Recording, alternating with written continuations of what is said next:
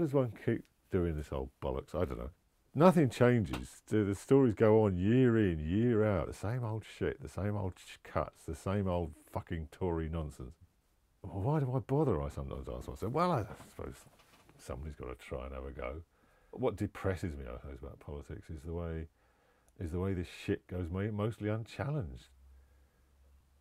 It's not just doing a caricature. It's not just doing a sort of extreme image and being extremely unflattering about a politician. It's about doing things with them. It's about bending them to your will, making them perform things, making them appear even more ridiculous by actually manipulating them. It's a delight to, to, to saw off Rebekah Brooks's head and put her in a put her in a flask. This is comics. You can do anything. The Leveson report's been going on all this year. Revelations, and then the sort of final conclusion, which was a bit of a damp squib. It's One of the things that gives the whole affair its flavour is, is the relationship between David Cameron, our Prime Minister, and these figures, most notably Rebekah Brooks. And it raises all sorts of questions and issues about politics and the media and power and the way it's wielded. Dave is permanently haunted by by Medusa, Gorgon, Brooks, and shithouse rat Coulson, basically. Perhaps it's wishful thinking, hoping he'll drown in it. He's, he hasn't drowned yet. He's, uh, he's still remarkably buoyant. He has an uncanny ability to preserve himself. Perhaps this is a story of the year for me. And Dave has sort of, you know, with, with, elastic wonder, has managed to sweep it under the carpet and throw a blanket over it. And of course, the Jubilee is the other story. It Doesn't happen often. There was another mug to be designed. The motto, of course, is 60 glorious years on benefits and never signed on. Diamond Liz. There was George's disastrous budget in March. The central lunacy of the budget was the fact that he was cutting the top rate of tax. An instant giveaway to you know, millionaires of all shapes and sizes. George is considered to be a supreme political operator. He's very clever, very adept, apparently very astute. But this was one of the stupidest budgets in modern times. Why is George in bondage gear?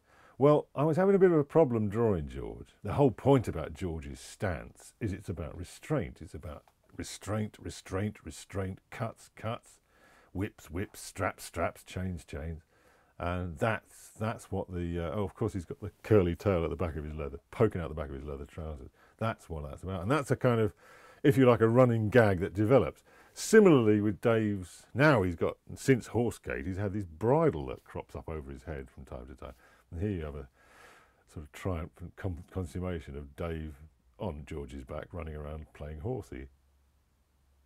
And then there was a, ludi- a ludicrous petrol panic induced by this idiot Francis Maude when he when he told people to uh, oh just keep a little fuel in a jerry can, which is complete nonsensical advice coming from a minister. It was actually you know panic making and dangerous.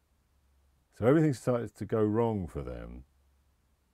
Opportunity knocks for Labour. Well, how how was Ed going to cope with this? These are the pandas arriving at Edinburgh Zoo, so I use the image of a panda asleep in a, in a manger. It's a reference to the mating behaviour of pandas, which is always slightly suspect. This is Dave going around visiting the Middle East. He's visiting the Jordanian border. He was preaching world peace and hawking weaponry. You could say that all they all do that. That's their job if they're British Prime Minister, but it's a, it's a rather unfortunate irony about, about the thing. In this instance, he's hawking the Hawk, which is the Hawk aircraft. Clegg continued to be moribund. There he is, sitting at the bottom of the sea going clug, clug, clug. Then there was a nonsense story about a young lad who set fire to a poppy, took a picture of it, put it on Twitter, and with, this, with the message, uh, up yours, squaddies, which was, I thought quite funny, but he got arrested for it. Anyway, so I thought I'd do my bit for freedom of speech by using the same image myself. I, I always find the um, the Poppy Fest slightly sickening, even though, of course, we should commemorate our war dead and we should think about what war means, which I don't think we do. I think sometimes the poppy fetishism actually gets in the way of it and actually actually militates against actually understanding what happened. This is the Olympics. This is these these, odd mascots, uh, Wenlock and Mandeville, one-eyed weirdos who, who strutted around during the course of the Olympics. So I, it was an obvious gift was to to try and do Dave and George as the monocular maniacs. Britain can deliver. Shit smeared. it's been a bad year for Clegg, but then every year is a bad year for Clegg. Clegg's irrelevance grows. Clegg is a che- leading cheerleader for austerity. It was Clegg who first started talking about savage austerity, and this was back in 2008. And he talked about the need for savage austerity. Well, he's certainly had his dream come true. But of course, is it benefiting the economy? No, it's not. The news has come through, of course. It's all this austerity, all this cutting, all this slashing, these billions and billions of cuts have done nothing to alleviate the deficit. It's actually made the situation worse.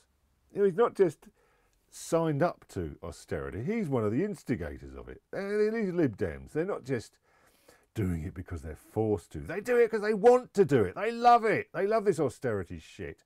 So, you know, I'm giving him a metaphorical kicking. That's I, I take a joy in it, I admit. It's call it negative, call it Beazley. Well, fuck 'em.